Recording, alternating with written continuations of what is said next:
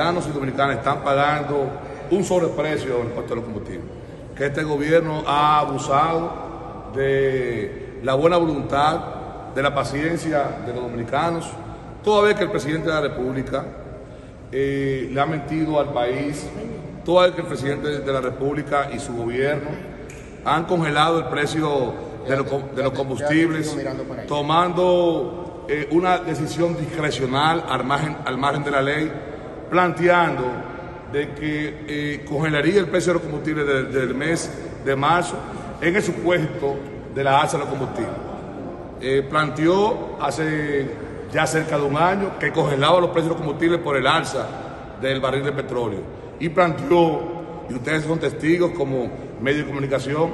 de que iba a congelar los precios de combustible para eh, que cuando se mantuviera a 85 dólares el barril de petróleo eh, en la cotización de Vitesa, ahí, y cuando se mantuviera hasta 115 dólares el barril, iba a congelar los precios de combustible, lo que hasta ahora lo ha estado llevando a cabo. Hoy les voy a presentar a ustedes de que hace más de un mes que el barril de petróleo combustible oscila por debajo de 80 dólares el barril. Sin embargo, el presidente de la República, el gobierno del cambio, no ha obtemperado a reducir los precios del combustible para traspasar esta reducción del barril de petróleo a los bolsillos de los dominicanos y dominicanas. Nosotros, en nuestra condición de legislador, en nuestro rol de fiscalizador, hemos estado dándole seguimiento a este tema y consideramos que es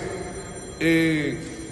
impostergable el que se reduzcan en el día de mañana los precios de los combustibles, pero nosotros en el día de hoy, por eso lo hemos invitado, estamos sometiendo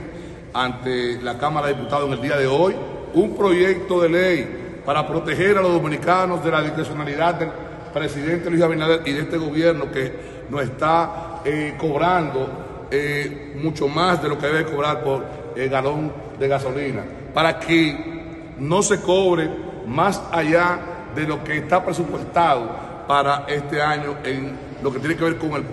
el impuesto ad valores que se cobra un porcentaje. El gobierno fijó para este año que eh, va a establecer 89.1 eh, dólares el barril de petróleo. Por lo tanto, este proyecto plantea que si los precios de los combustibles están por debajo de 89 dólares, pues tiene entonces que aplicarse entonces el al valor en función de 89 dólares. Y como está fijada ahora mismo la tasa del al valor en que se cobra un 15%, es en función de cómo se eh, frizó y se congeló los precios de combustible en el mes de marzo. Por lo tanto, estamos pagando 2 y 3 pesos por galón de combustible.